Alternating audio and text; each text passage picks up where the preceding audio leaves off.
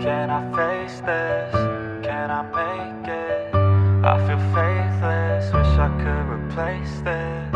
I need changes, I wanna be the greatest. So I will chase it, I will be Yo. courageous. Waking up, every day's tough. Zinedine Zidane terlihat tersenyum lebar saat Lionel Messi dianggap menyindir Cristiano Ronaldo soal Piala Dunia. Baru-baru ini, merek apparel olahraga dunia, Adidas, mempertemukan dua ikon sepak bola, Zinedine Zidane dan Lionel Messi, dalam sebuah wawancara yang bertempat markas Inter Miami. Dalam kesempatan tersebut, Zidane dan Messi tampak saling melempar pujian serta mengagumi satu sama lain. Dua pemain yang identik, dengan nomor punggung 10 itu, juga berbagi pengalaman mereka masing-masing di ajang Piala Dunia. Salah satunya, mereka menyinggung soal sensasi saat mencetak gol di final Piala Dunia. Sang superstar Inter Miami berujar bahwa prestasi itu adalah perasaan terbaik yang pernah dirinya rasakan selama mencetak gol. Messi lalu mengatakan bahwa dia dan Zidane sangat mengetahui sensasi itu karena pernah melakukannya. Pria berkepala pelontos itu pun, dia merespons pernyataan Messi tersebut, dengan tersenyum lebar, pernyataan Messi tersebut, kemudian viral di media sosial.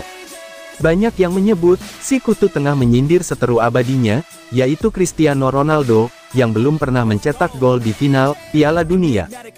Jangankan mencetak gol, lolos sampai partai puncak turnamen akbar 4 tahunan itu pun CR7 belum pernah.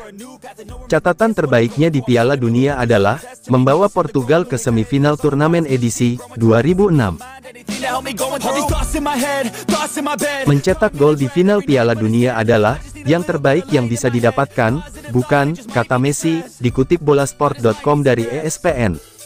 Kami berdua bisa mengatakan hal itu, karena pernah melakukannya, tuturnya menambahkan.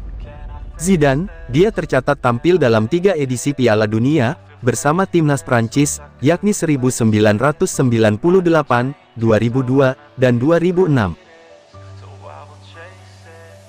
Edisi 1998 itu, tentu saja menjadi yang paling diingat-ingat, bagi mantan pemain Real Madrid itu.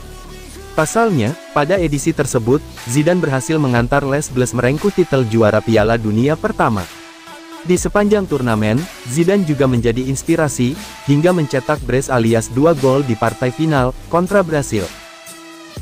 Sementara itu, Lionel Messi telah ikut dalam lima edisi Piala Dunia pada 2006, 2010, 2014, 2018, dan 2022. Dari seluruh keikutsertaannya tersebut, Messi mencatatkan 26 penampilan, dengan torehan 13 gol, dan 8 assist. Dari 13 gol, dua di antaranya sangat spesial bagi si kutu. Pasalnya, dua gol tersebut diciptakan Messi di final Piala Dunia 2022. Berkat brace tersebut, Messi akhirnya berhasil merasakan gelar juara Piala Dunia pertama, atau yang ketiga untuk Argentina. Tim Tango berhasil menumbangkan Prancis lewat adu penalti 4-2, setelah kedua tim bermain imbang 3 sama, hingga extra time.